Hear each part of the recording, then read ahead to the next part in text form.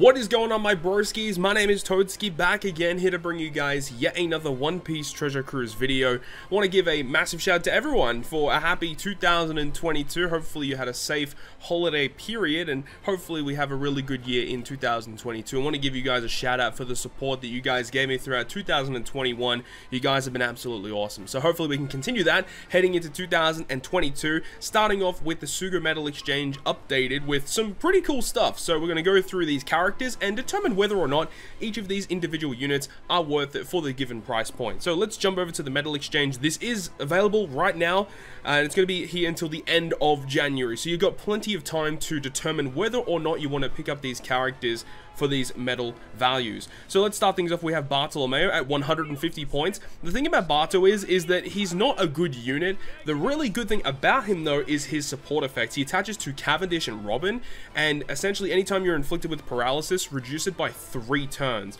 a very useful support effect. And you know considering uh, with the New Year celebration a lot of people would have done a lot of multi-pulls. And I think a lot of people are going to have a lot of Sugo medals left over. So if you don't have Barto and you need a good paralysis removing support throughout this month of January that's going to be a really nice unit that can attach to Robin or Cavendish Next up, we have Borsalino. This character is basically terrible in almost every facet. However, there is one really good thing about him, and that is his PvP abilities. After you super evolve him, is going to be a really nice unit to use on slasher teams and shooter teams, and especially if you've picked up Roger and Whitebeard and you have 6 plus Oden, which is along the way as well. Um, this is a nice un unit to add alongside those two characters in a PvP slasher team, so that, that's like the only reason you should be picking up Borsalino. Other than that though, this unit is pretty bad. Shirahoshi's an interesting one. She has a really cool special that can guarantee you a full board of block slots with really good healing on top of it. That's basically all she really does though. Um, she doesn't really have like that many other really cool redeeming qualities. I don't really suggest picking up this unit honestly. And Dex Sabo is somehow here again. I feel like we literally just had Dex Sabo. I think, it, didn't we just have him in literally the last list? I don't know. Either way, um, Dex Sabo, I mean, he did get a super evolution in the previous month or the month before that. Uh, he's okay, but uh, he's one of those units you can definitely go without. He's not going to be the difference between you clearing content or not. His character's okay, but definitely not worth the other medals. I think definitely picking up Borsalino for Pirate Rumble or picking up Barto for his support effect are way more valuable. So those characters that we just talked about were the 150 medal tier. Moving on up to the 250 medal tier, we've got a couple of characters to talk about. First one here though is Mihawk. This unit is bad, don't pick him up. The next one though is Vivi and Rebecca. Now this character is one that you may want to go ahead and invest in because her special ability is very unique in being able to remove blue shield defense up as well as rainbow shield damage reduction completely. If they have 10 turns of both, it can remove both of it. Uh, 99 turns of defense up, it can remove it. 99 turns of Rainbow Shield, it can remove it. On top of that, it also gives your Striker and your Cerebral characters a 2 times color affinity, uh, which is kind of nice for 2 turns. And remember, if you do have Roger and Whitebeard, that character is a Striker and a Slasher Captain. This character can partner up really well with those units. Now, their swap effect is also really, really good, because for Cerebral and Strikers, it changes their strength and dex slots to matching, you get 2000 heal at the end of the turn, as well as a 2.5 times chain lock, and that will activate every single turn every single turn you activate that switch effect. This is one of the top units that I've had in my tier list, and a lot of people may already know why, but this unit is very valuable, and if you don't have this unit for 250 medals, it's an absolute bargain. Speaking of absolute bargains, V1 Kaido at 250 medals, this character's wicked. I'm pretty sure a lot of people already know how good this unit is.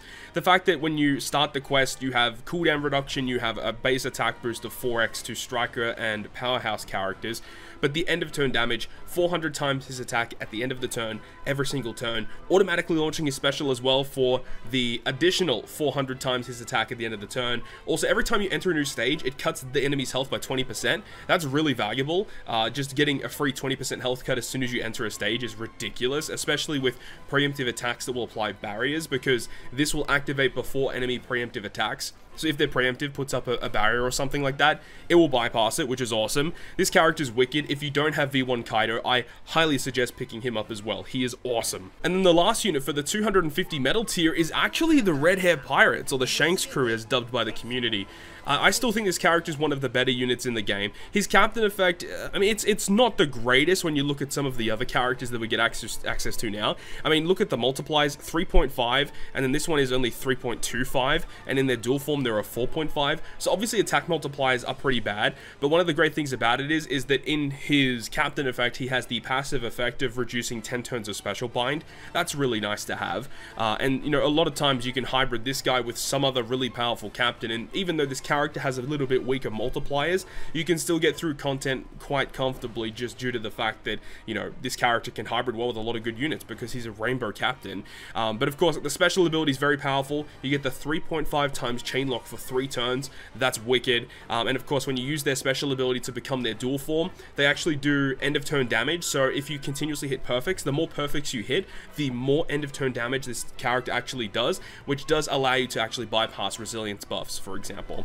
But of course, uh, probably one of the most valuable components of this unit is their swap effect, being able to change adjacent slots into matching and also giving all characters a 1.5 times attack boost. So if you do have character like uh, Roger and Whitebeard that just came out with the New Year celebration, you guys already may know how powerful that switch effect is. Well, this is kind of like a nerfed version of that. Um, so if you don't have Roger and Whitebeard, definitely get this guy because that swap effect is going to be very valuable in lots of different teams. Even in teams where this character isn't boosted, it's still a valuable switch effect and a very valuable special effect to have. But then we get to the big daddies, the, the ones that are worth 400 Sugo medals in the medal exchange. So this is a pretty interesting list of characters. The first one here is going to be the Trafalgar Law, uh, dubbed as in, in, the community as the Wano Law character. His captain effect is okay. Uh, multipliers are a little bit on the weaker end, but really good defensively with really good passive damage reduction and good healing at the end of the turn. But the special ability is ridiculous. Really good orb change, empty block bomb recovery G, and badly matching slots into matching and then he does different effects depending on what class or classes your captain has. So if your captain, when you launch the special, is a fighter slash a striker or a shooter, you get a 2.25 times orb boost to all characters for two turns. But if your captain is a free spirit, driven, cerebral, or powerhouse unit, you get a 2.5 times chain boundary for two turns. And the great thing about it is, is that if your captain is one of each of these classes, you'll actually get both abilities to activate with a chain boundary and an orb boost. boost this is still one of the best specials in the game because chain boundary is like the best chain effect that you can add to your to your team for for damage output plus good old manipulation and he has uh, the orb boost as well to all characters. He's a slasher free spirit he's a PSY unit he's good good class and color combination. This unit is still ridiculously nice as well as amazing in pirate rumble really good for the PSY teams really good for the slasher teams. The best part about this unit is his passive the fact that he's able to debuff driven and powerhouse special CT by level 6, speed down level 6, and guard down level 6. Like, this unit is absolutely bonkers in Pirate Rumble. So really good in Pirate Rumble, and also really good in regular play. The next one here is Luffy and Sanji. I'm personally not the biggest fan of this unit, but I know a lot of people are huge fans of this guy. Uh, the good thing about Luffy and Sanji is they are a rainbow captain at the end of the day. They also have a really nice effect in, in all forms of their captain, where they allow you to get overhealing, and that's obviously one of the most powerful components of the unit in general. Overhealing is very, very broken. Their special ability is interesting, where they give you a full board of recovery slots that goes through block orbs, which is nice. They also allow you to heal 50 times their recovery, and the special ability does allow the overhealing as well. So even if you're not using them as the captain to get access to overhealing, when you launch the special, it will still overheal, so that's nice at least. But then if you launch the special and you are at full HP or higher, you actually get a 2.5 times attack boost to all characters. If you're not at full HP, it's only going to be a 2 times attack boost instead. And that's one of the biggest downsides to the unit is you basically have to make sure you get at full HP, otherwise it's only a 2 times attack boost, which a lot of characters can provide to your team. Uh, the, the switch effect is actually really good though. They make uh, their own slots uh, recovery as well as also treating recovery as beneficial to your team. That is also an annoying component because their special ability changes all slots into recovery and they don't have any component in their kit that will make recovery beneficial aside from their switch effect. So before you launch their special, you do have to make sure that you switch to make it beneficial to your team, unless if you have some type of other effect that can treat it as beneficial. But they also have really good utility of reducing bind, despair, and paralysis for your whole team by one every time you launch that switch ability. So that's a really nice component. They're okay in PvP, but remember, it is a Luffy and a Sanji character, so if you use this character, you can't get access to any other Luffy and Sanji on your crew. And because there's so many good Luffys and Sanjis that continuously release, I kind of feel like Luffy and Sanji just past the use by date. The second last unit in the Medal Exchange is going to be Zoro the Super Type Zoro. So this unit is kind of nice with his captain ability being a Dex Captain 4.5 and also still boosting all other characters by 4 times, but also having the really cool effect of resisting Special Bind by 10 turns. But then once you've taken 20,000 damage or more, his captain effect actually changes where you get a 5 times attack boost instead,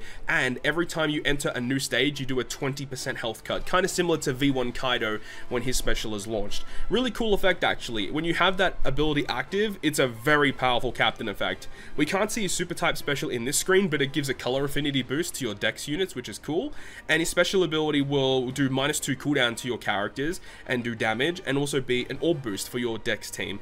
Um, this unit's pretty nice. Um, the thing is, is that he hybrids well with the other really good dex super types in the game, like Final Tap Law, Legend Queen, CP0 Lucci, those guys all work really well with this guy, and if you're in content where you have to deal with special binds, this might be a really good option to use as the captain just to passively get around it, which is cool. Um, and he's okay in PvP as well. If you're running like a Dex team, for example, it's really nice to have this guy on the bench, come in late game and just sweep the opponent. Really powerful special when it is in the late game. Not really good at the start of the game though. But either way, Zoro's a cool unit, but I don't think it's worth 400 medals. And then the final character of this batch is going to be Ace versus Akainu. Now, I don't think it's a surprise to anybody that this is definitely well worth 400 Sugo medals. If you were unlucky enough not to pull this character during the New Year celebration, I think this is a very worthwhile investment. 400 medals for a character like this, I think is just, it's it's a no-brainer. Getting access to Ace, who is the shooter and free spirit captain, and then you got access to Akainu being a driven and a powerhouse captain, driven and powerhouse being, you know, two of the best classes in the entire game, and you got Ace being shooter and free spirit. We know shooter isn't the best, but free spirit is one of the best classes in the game as well. This character's got a great special ability. Akainu has access to the ignition effect when he's ever inflicted with damage. He can just ignite the enemies and do damage to them passively. They both have really good versus effect as well, providing a conditional boost against ignited enemies. They both inflict the ignition effect against the enemies when you launch their versus special as well. And both of these characters are very good in PvP of really good for quick teams, and then also the ace character really, really good for your strength teams. Um, I think this is easily the most worth it character in this entire list, if you don't have it already, obviously. Uh, this character is just immensely powerful, helps out so many different teams, helps out in PvP as well. I think it's definitely the best choice. That would be my opinion, for sure. But as for the other characters on this list, as we talked about, I think Barto is actually still a pretty good call just due to his support effect. Kizaru is really good for PvP if you don't have him.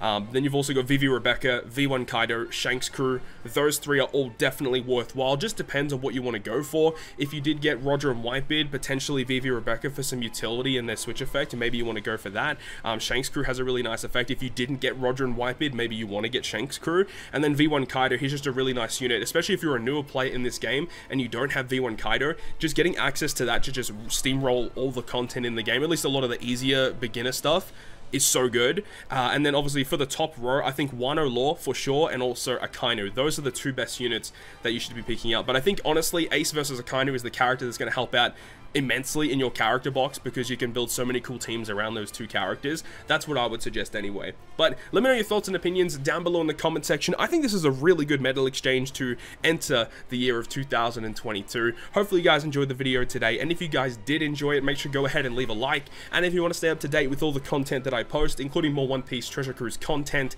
make sure to hit the subscribe button down below. But on that guys, I'll see you guys within the next video.